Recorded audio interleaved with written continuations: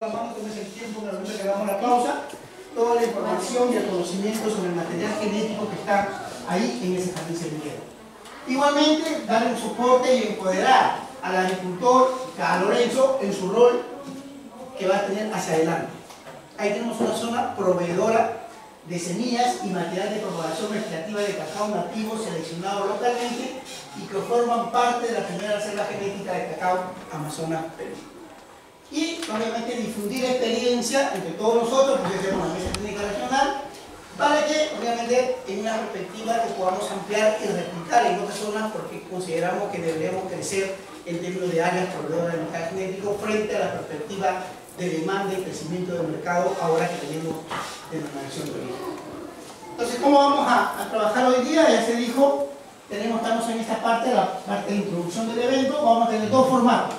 Una aquí, hasta más o menos la media mañana, para después tomar una pausa, un refrigerio, donde vamos a hacer a manera de información de exposiciones la presentación del jardín semillero. Primero vamos a conocer los antecedentes, el contexto de definición y trascendencia y características organoléctricas de estos clones que han sido instalados en el jardín semillero por acá nuestro colega Santiago Pastor.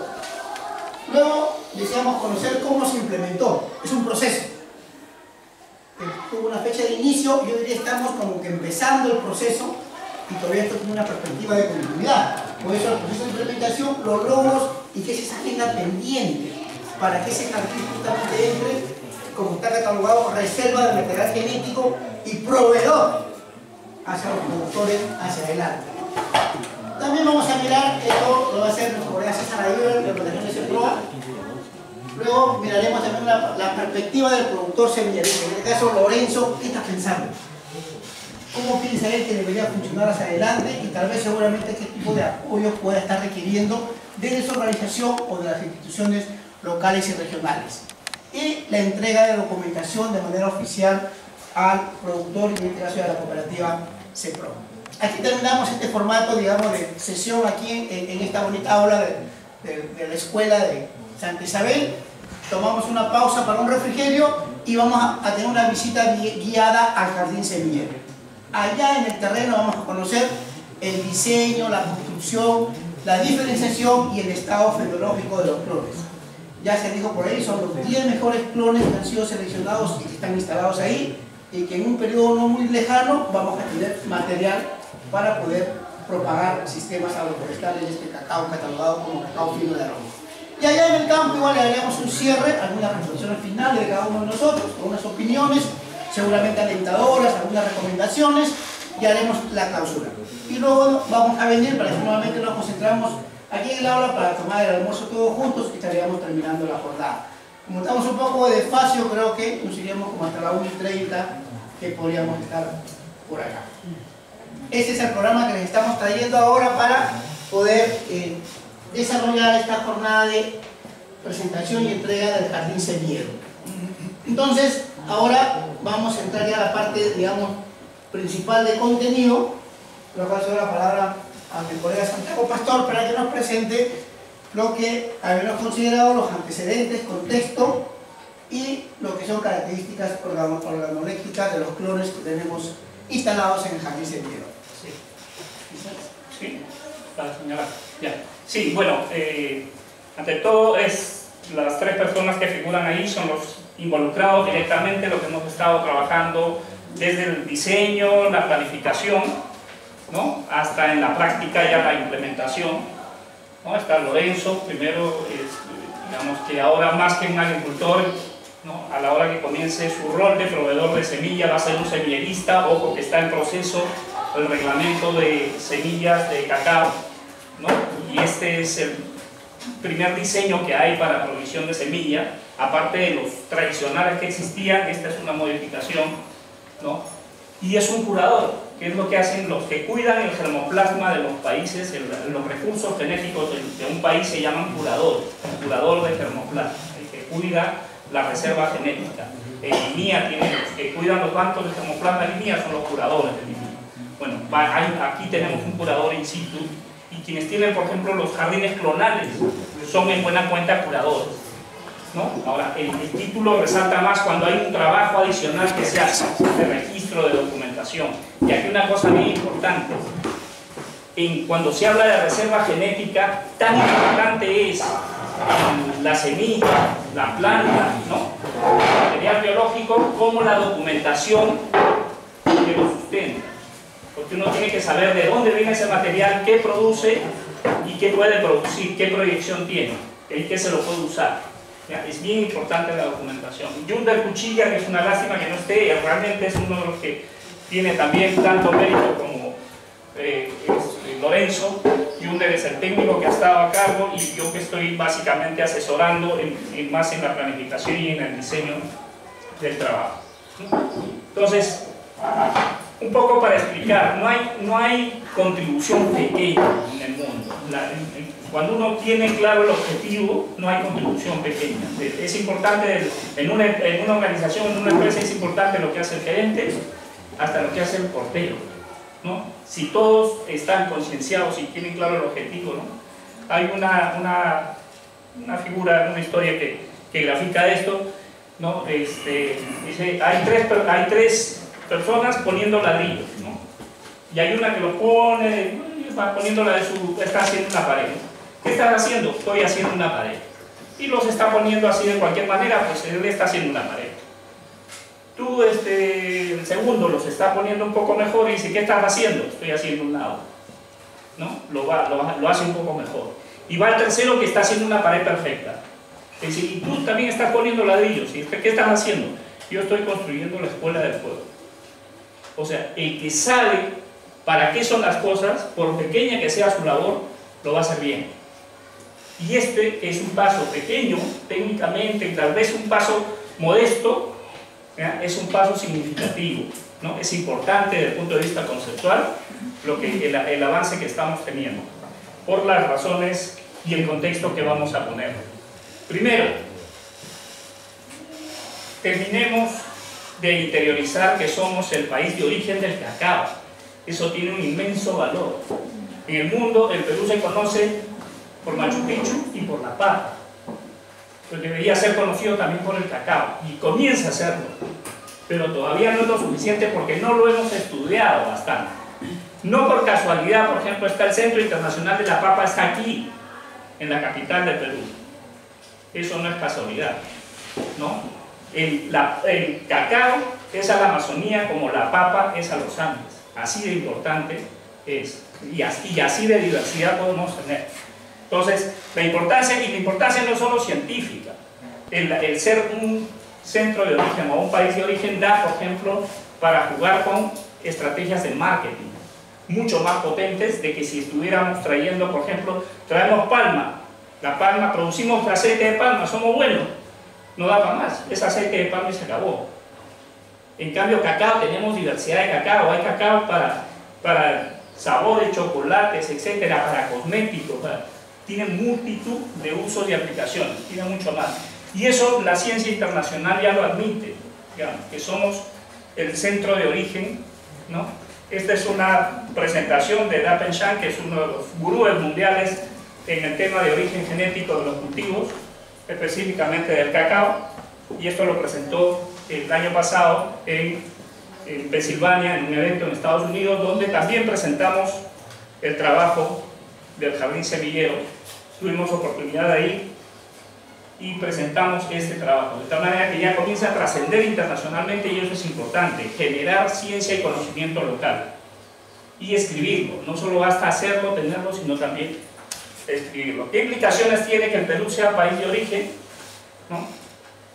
Primero que el recurso, o sea, ya no solamente un cultivo, sino que la riqueza genética pasa a ser patrimonio de la nación.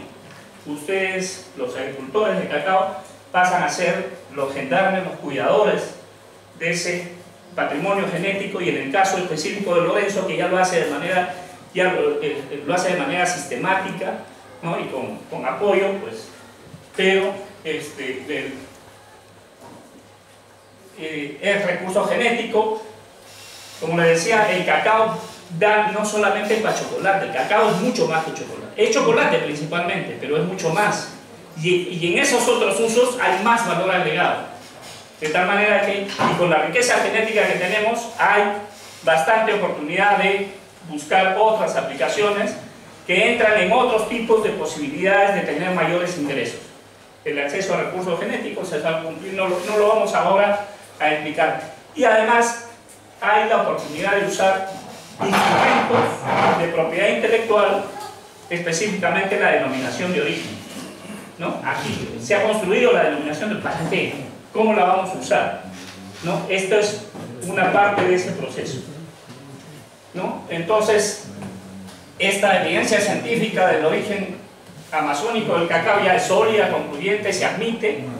¿no? Sin embargo, por desconocimiento, tal vez por, por, condiciones que han habido en su momento, han tenido un rol, se ha permitido el ingreso de materiales que han desplazado el material nativo, ¿no? que, que, tienen, que han significado una mayor oportunidad tal vez en ese momento para el agricultor o en la encrucijada de, de cómo a ver cómo se sale del cultivo ilícito, la herramienta del, del cacao este, corriente ha sido buena, pero es momento de reflexionar y de resetear el camino. A ver, vamos a ver cómo eh, andamos un camino que nos lleve a aprovechar la riqueza que la estamos haciendo a un lado, está escondida la riqueza. Tenemos que, continuar en ese esfuerzo de sacarlo. Y, este camino ha tenido consecuencias. La ICO nos consideraba hasta el 2014 como un país de 90% productor de cacao fino de aroma. ¿no? Ahora ya hemos bajado, ahora bajamos a 75. Y realmente muchos dicen que ha habido tanta invasión o tanto ingreso de material genético eh, año, digamos, o el CCN, que podría ser menos, inclusive podrían bajarnos más si hacen una evaluación muy exhaustiva. Y justamente este es un paso que estamos dando a contracorriente de ese camino. Estamos difundiendo el material genético nativo. ¿no? Entonces, eso es una parte del contexto frente al que estamos luchando. Parte del trabajo también es generar una formulación de una regulación que se adapte a cómo se obtienen las semillas.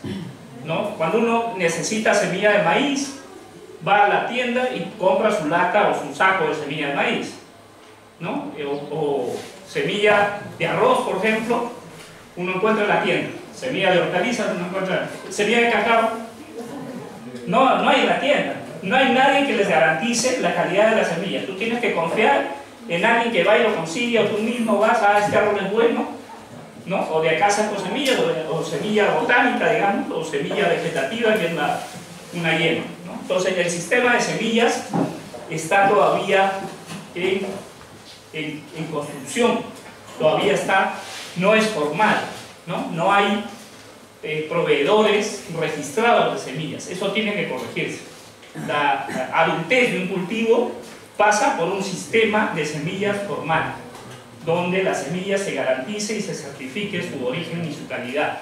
¿Para qué? Para que después que uno lleva semillas, que uno siembra o injerta cacao, ¿no? este, sepa de dónde lo y sepa su el, origen y pueda hacer obviamente el control que, que se requiere.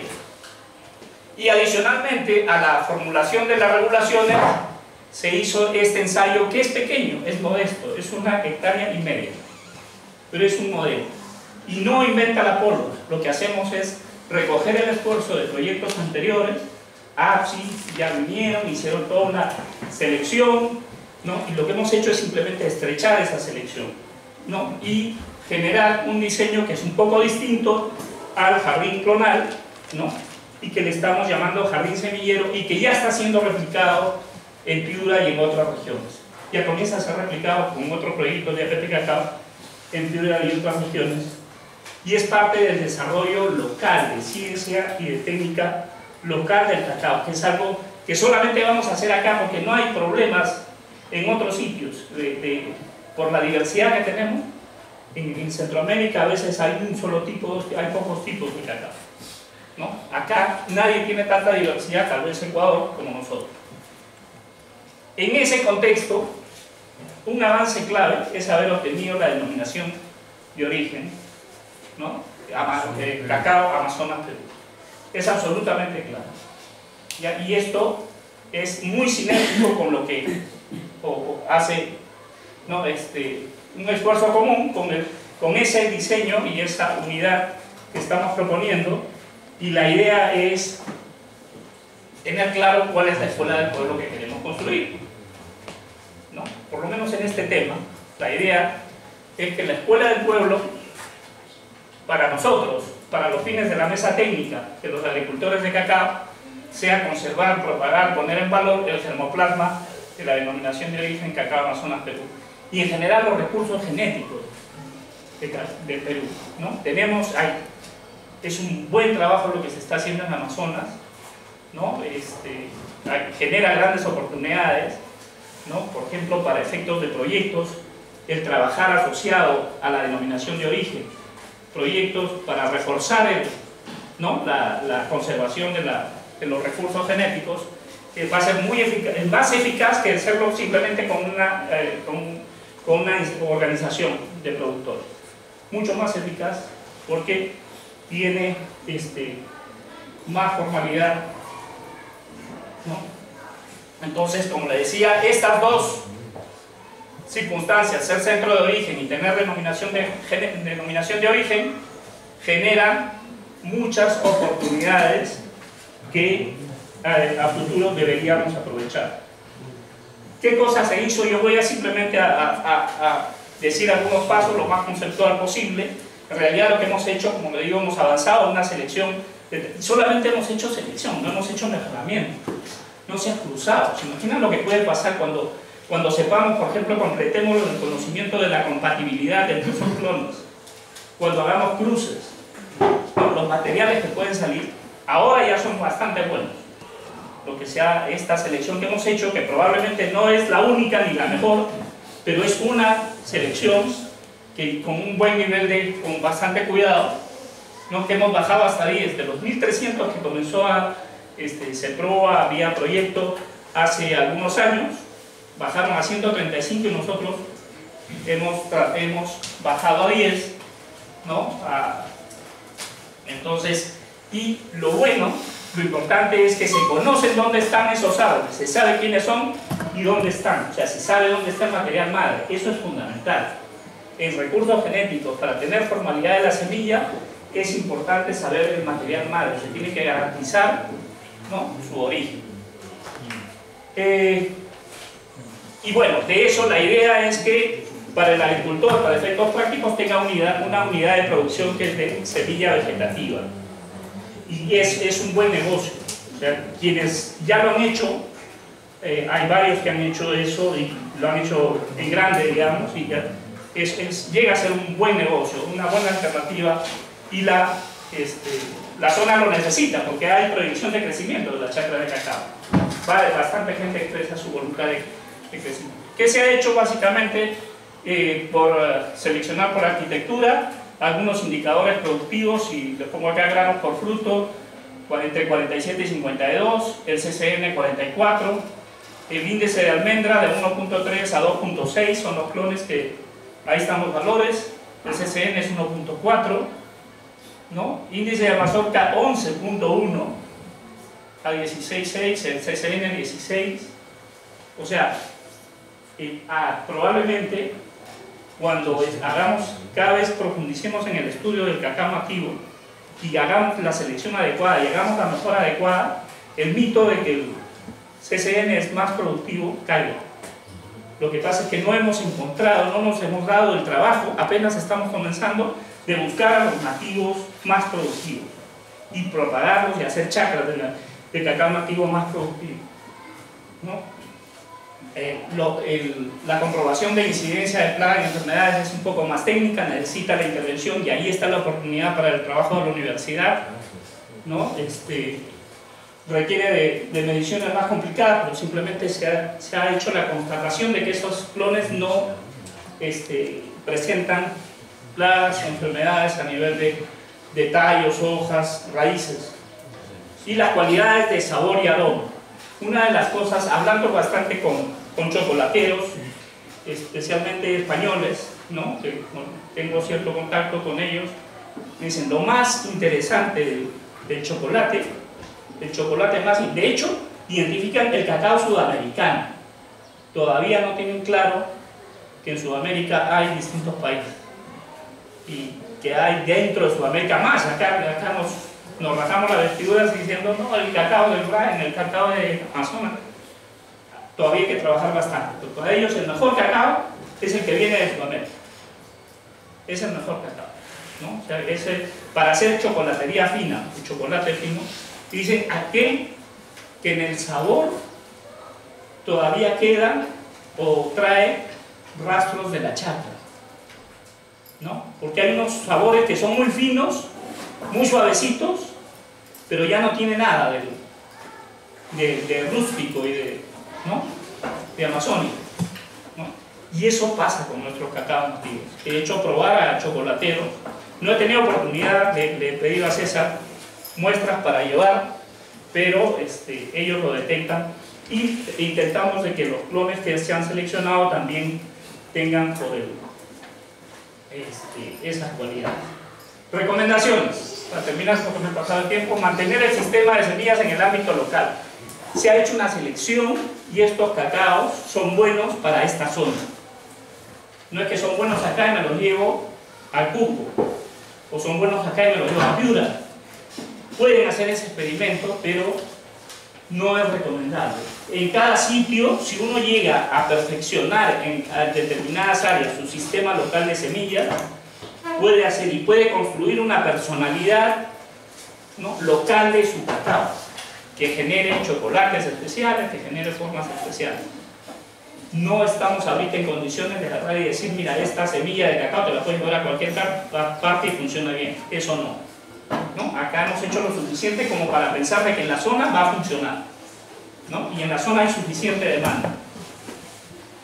Eh, bueno, por eso, palabras claves, conservar, difundir, el uso preferencial de material catalogado. Siempre es mejor, ¿no? Por eso en el mundo se prefieren las cosas con marca. No, no, no es no lo, generalizado, pero cuando uno busca algo de calidad dice, no, algo que tenga marca. Bueno, esto es una forma de construir una marca saber de dónde viene, saber sus características, saber cuánto produce, ¿no? qué sabor tiene, todos estamos construyéndole la personalidad a cada uno de esos clones y entonces, y eso también invita a las instituciones académicas ¿no? a que hagan sus trabajos de investigación con este material, que saben, ¿no? Para que sepan, no es cualquier cacao, es un cacao que se sabe su origen, entonces Cualquier explicación adicional, pues la van a tener a partir de, los registros que se han hecho. ¿no? Luego Lorenzo, bueno, ya hemos dicho el reconocimiento especial que hay que tener, ¿no? en su calidad ahora de curador y de semillarista y curador, y lo dicho, hay que sacar adelante ese concepto de vigilancia para que la denominación de origen